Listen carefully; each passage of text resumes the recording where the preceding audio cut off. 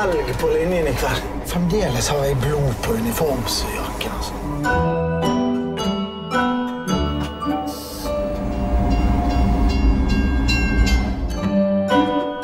På nærmere 40 års innsats.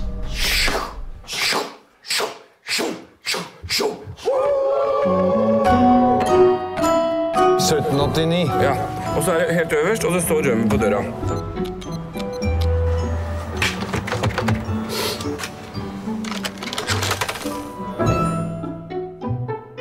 Skjønner at jeg var egentlig på vei opp til naboen din Overøy. Hva heter du? Jeg heter Odd. Horten! Så til helga så er det slutt.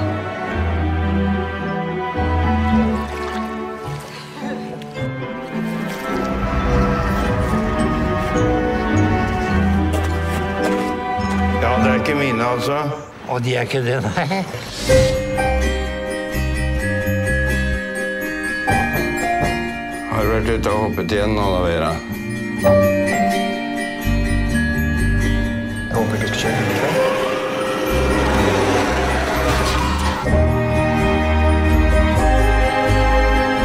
Som ganske ung så oppdaget jeg at jeg hadde evnen til å se rimelig bra med lukkede øyne.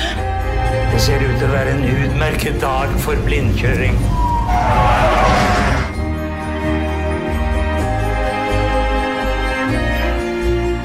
Nå har jeg kjørt siste togturen.